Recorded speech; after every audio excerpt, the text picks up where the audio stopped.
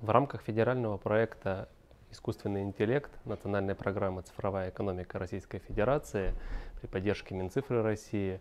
э, с лета этого года стартует образовательный курс «Сириус», который поможет школьникам 7-11 классов изучить основы искусственного интеллекта и программирования.